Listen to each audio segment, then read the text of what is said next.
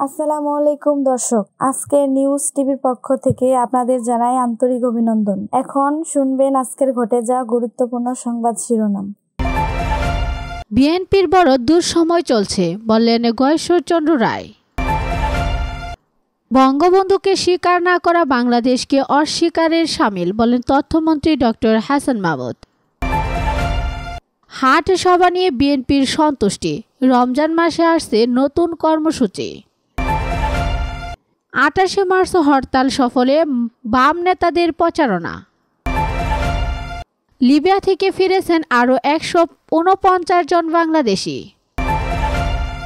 ইসরায়েলে করোনার নতুন ধরন শনাক্ত। তিন সপ্তাহে সাত হাজার রুশ সেনা নিহত, দাবি নিউ ইয়র্ক টাইমসের। এতক্ষণ শুনছিলেন সংবাদ শিরোনাম, এবার বিস্তারিত। বিএনপির দুঃসময় চলে গেছে তা নয়, বরং বর্তমানে বড় দুঃসময় চলছে বলে জানিয়েছেন দলটির স্থায়ী কমিটির সদস্য গয়েশ্বর চন্দ্র রায়। নিজেদের আত্মসমালোচনা করে তিনি বলেছেন, চল্লিশ বছর লড়াই সংগ্রাম করে এখনও বন্দী আছেন আমাদের নেত্রী বেগম খালদা জিয়া। তিনি মুক্ত নন, আমরা এত কৃতিত্বের দাবিদার হই কি করে? আমরা তো আমাদের নেত্রীকে মুক্ত করতে পারি না। দলটির সাবেক মহাসচিব খন্দকার দেলোয়ার হোসেনের মৃত্যুবার্ষিকী উপলক্ষে নয়াপল্টনে দলের কেন্দ্রীয় কার্যালয়ের নিচে দোয়া ও মিলাত মাহফিলে প্রধান অতিথির বক্তব্যে এসব কথা বলেন তিনি। গয়েশ্বর চন্দ্র রায় বলেন, রাষ্ট্র যতদিন আছে, ষড়যন্ত্র ততদিন থাকবে। রাজনীতি যতদিন থাকবে, ষড়যন্ত্র ততদিন থাকবে। আমাদের নেত্রী যেহেতু ষড়যন্ত্র মোকাবেলা করে স্বাধীনতার সার্বভৌমত্ব গণতান্ত্রিক প্রক্রিয়াকে সবসময় ঊর্ধ্বে রাখতে চান, সেজন্য তার তার দলের বিরুদ্ধে ষড়যন্ত্র হওয়াটাই স্বাভাবিক। নিজের দলের নেতাদের সমালোচনা করে তিনি বলেন, দলে ভালো মন্দ লোক থাকবে। সেটা যেমন ঠিক আছে তেমনই ভালো কাজটা ভালো লোকদের দিয়ে করাটাও উচিত। সব কথা সবাইকে নিয়ে বলা যায় না। আমরা কেন দলের নিবেদিত কর্মীদের যথাযথ মূল্যায়ন করতে পারি না? প্রশ্ন রাখেন গয়েশ্বরচন্দ্র রায়। খন্দকার দেলোয়ার হোসেনকে নিয়ে বিএনপি এই শীর্ষ স্থানীয় নেতা বলেন, খন্দকার দেলোয়ার হোসেন একমাত্র ভাগ্য ভাগ্যবান ব্যক্তি, যার মৃত্যুর পর প্রতিটি রাজনৈতিক দলের পক্ষ থেকে শ্রদ্ধা জানানো হয়েছে।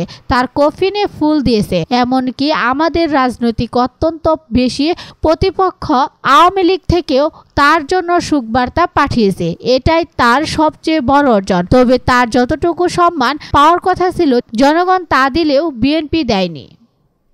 বঙ্গবন্ধুকে স্বীকার না করা বাংলাদেশকে অস্বীকারের সামনে বলে তথ্যমন্ত্রী ডক্টর হাসান মাহমুদ। তথ্য সম্প্রচার মন্ত্রী এবং আওয়ামী লীগের যুগ্ম সাধারণ সম্পাদক ডক্টর হাসান মাহমুদ বলেছেন, বঙ্গবন্ধু ছাড়া বাংলাদেশের স্বাধীনতাকে কল্পনা করা যায় না। বঙ্গবন্ধুকে স্বীকার না করা বাংলাদেশকেই অস্বীকারের সামিল।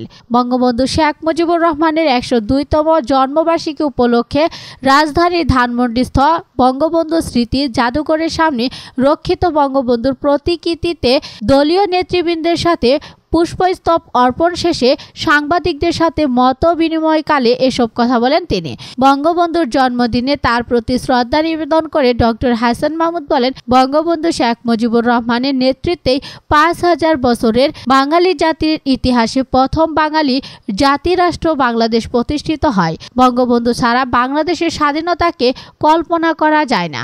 তথ্যমন্ত্রী বলেন আজকের এই দিনে আমাদের শপথ হচ্ছে অসাম্প্রদায়িক চেতনার ভিত্তিতে বঙ্গবন্ধুর নেতৃত্বে বাংলাদেশ স্বাধীনতা অর্জন করেছিল। তা সুপ্রতিষ্ঠিত করা সমস্ত সাম্প্রদায়িকতাকে উপড়ে ফেলে দেশের স্বাধীনতা সার্বভৌমত্বের বিরুদ্ধে ষড়যন্ত্রকারীকে নির্মূল করে বঙ্গবন্ধু তার নেতৃত্বে স্বাধীনতা সংগ্রামে অংশগ্রহণকারীদের স্বপ্নের ঠিকানায় দেশকে পৌঁছানোই আজকের শপথ। দ্ব্যর্থহীনভাবে বলেন তিনি। হাট সভা নিয়ে বিএনপির সন্তুষ্টি। রমজান মাসে আসছে নতুন কর্মসূচি। দ্রব্যমূল্যের ঊর্ধ্বগতির প্রতিবাদে দেশব্যাপী এগারো দিনের কর্মসূচি পালনে সন্তোষ প্রকাশ করেছে বিএনপি। দলের সর্বোচ্চ নীতি নির্ধারণী ফোরাম জাতীয় স্থায়ী কমিটির সভায় সন্তুষ্টি প্রকাশ করা হয়েছে।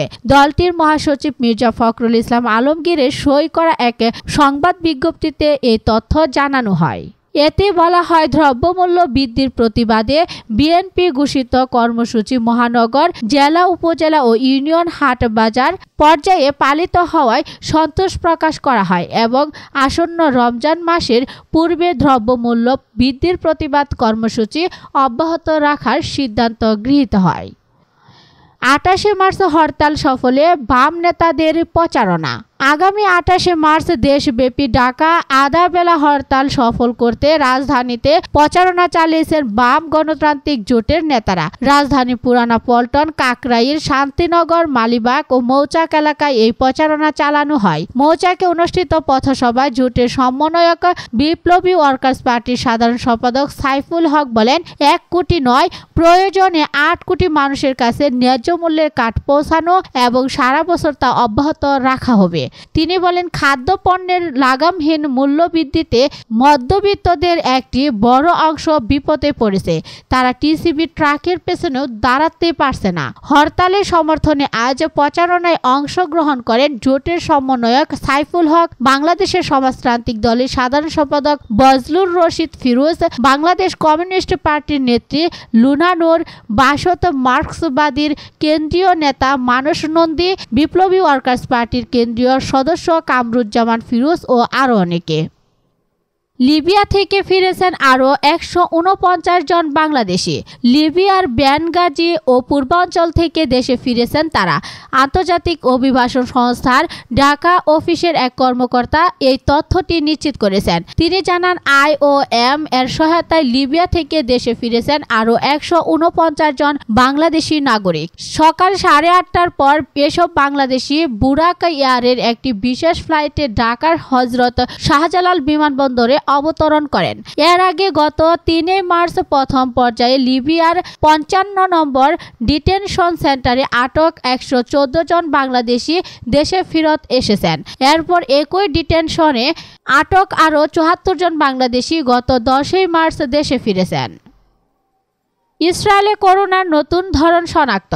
ইসরায়েলে করোনার নতুন ধরন শনাক্ত হয়েছে। সম্প্রতি নতুন এই ধরন আক্রান্ত দুজন রোগীকে পাওয়া গিয়েছে। ইসরায়েলের স্বাস্থ্য মন্ত্রণালয় এক বিবৃতিতে জানিয়েছে, নতুন এই ধরন এখনও বিশ্বের কাছে পরিচিত নয়। অতি সংক্রামক অমিক্রনের বি এ এক এবং বি এ দুই উপধরনের সমন্বয়ে নতুন এই ধরনটি গঠিত। এর আগে ডেল্টা এবং অমিক্রনের সমন্বয়ে ডেল্টা ক্রম নামে অপর একটি মিশ্র ধরন শনাক্ত হয়েছিল। ইসরায়েলের স্বাস্থ্য মন্ত্রণালয় জানিয়েছেন, নতুন এই ধরনের ক্ষেত্রে বিশেষ চিকিৎসার প্রয়োজন নেই। করোনার অন্যান্য ধরনের ক্ষেত্রে যে চিকিৎসা এই ধরনের ক্ষেত্রে চিকিৎসা একই রকম। নতুন এই ধরনের কারণে শরীরের যেসব লক্ষণ দেখা দেয়, সেগুলো হলো হালকা জ্বর, মাথা ব্যথা এবং পেশিতে ব্যথা। ইসরায়েলের ব্যানে গুরিঅন বিমান বিমানবন্দরে পিসিআর টেস্টের মাধ্যমে দুই যাত্রীর দেহে এই নতুন ধরন শনাক্ত হয়েছে। ইসরায়েলে কোভিড রেসপন্স বিভাগের প্রধান সালমান জারকা বলেন, এই মুহূর্তে আমরা নতুন এই ধরন নিয়ে উদ্বিগ্ন নয়। এটি বড় ধরনের সমস্যা তৈরি করবে বলে আমরা মনে করি না। তিন সপ্তাহে সাত হাজার রুশ সেনা নিহত। দাবি নিউ ইয়র্ক টাইমসের। ইউক্রেন অভিযানে তিন সপ্তাহের কম সময়ে রাশিয়ার সাত হাজার সেনা মারা গিয়েছেন। মার্কিন গোয়েন্দা কর্মকর্তার বরাতে এমনটাই জানিয়েছেন দেশটির সংবাদ মাধ্যম নিউ ইয়র্ক টাইমস। আমেরিকার গোয়েন্দারা জানিয়েছেন, ইউক্রেনে অভিযানে সাত হাজারেরও বেশি রুশ সেনা নিহত হয়েছে। ইরাক এবং আফগান অভিযানে বিশ বছরেও এত মার্কিন সেনা নিহত হয়নি বলে দাবি করছেন যুক্তরাষ্ট্রের গোয়েন্দা কর্মকর্তারা। ইউক্রেন অভিযান অভিযানে রাশিয়ার দেড় লাখের বেশি সেনা অংশ নিয়েছেন। তাদের মধ্যে চোদ্দ থেকে একুশ হাজার সেনা আহত হয়েছেন বলে দাবি করছেন ইউক্রেন ও নেটো কর্তৃপক্ষ। এছাড়াও রাশিয়ার চার জেনারেলকে হত্যা দাবি করেছে ইউক্রেন। এদিকে রাশিয়ার সেনা অভিযানে ইউক্রেনে মানবিক সংকট দেখা দিয়েছে। এ বিষয়ে করণীয় ঠিক করতে বৈঠকে বসতে যাচ্ছে জাতিসংঘের নিরাপত্তা পরিষদ।